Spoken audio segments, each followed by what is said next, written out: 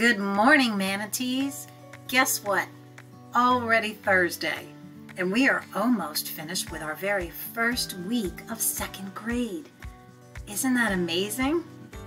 I will see all of you at 9 a.m. for our meet. We're going to be discussing some math. All right, so make sure you join the meet at 9 a.m. Couple of things. If you're watching this, it's probably because you are already in our Google Classroom looking at the stream. So you watch today's message, then you're going to take attendance, manatees on the move, and then you're going to read the directions for today.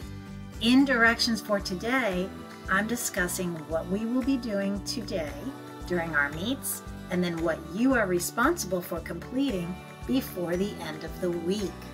Okay? So two meets today. The first one is at 9 a.m. We will talk about math. And the second one is at 12 noon and we will be talking about literacy.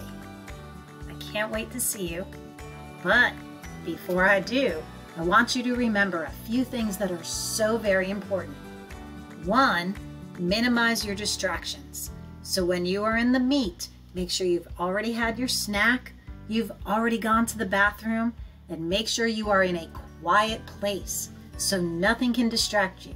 No toys, no blankets, all right? Nothing else but just you and me talking and learning and having a great time doing it. I'll see you at 9.